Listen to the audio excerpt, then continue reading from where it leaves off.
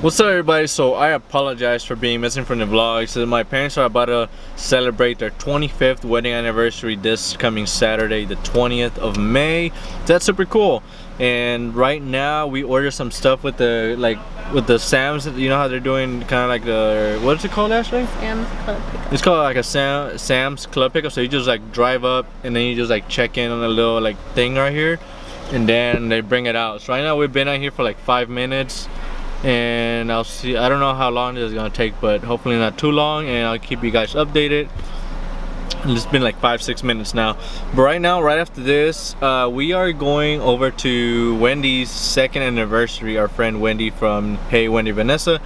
And we're gonna go celebrate with that and then I think she's doing like a dinner or something I don't know. And so it's pretty cool. So we're we're glad that we're actually getting out the house this whole week. We've kind of been in the house too which is not recent. And we've been helping my mom like plan like or this wedding thing.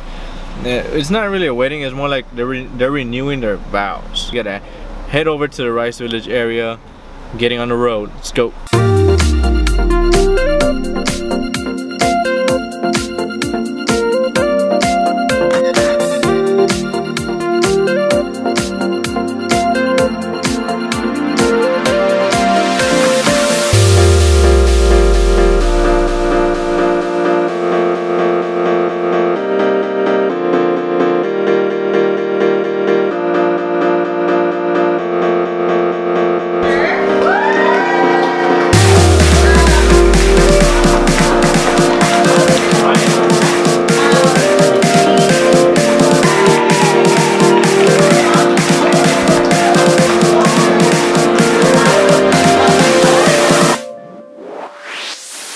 Hey guys, so we just finished a Wendy's event here. It was good. We got some walk, some extra, so we always kind of stay around and we got to talk to like the store owners and just getting to hang out. They're fairly new to Houston. We're just talking to about all the cool spots that they could check out in Houston.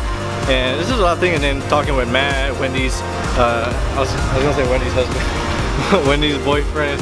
And just having a good time, just talking to everyone that was there. So it was fun. Now, uh, and it was good for us because we haven't been out of the house for like a week at least since I came back from like our trip with Juan and Angelica so it was good now it's time to go home or and then I gotta figure out what my the meeting my parents went on to for their wedding anniversary program which I need to find out so I can figure out how long that video can be which I'm making for them so Ugh.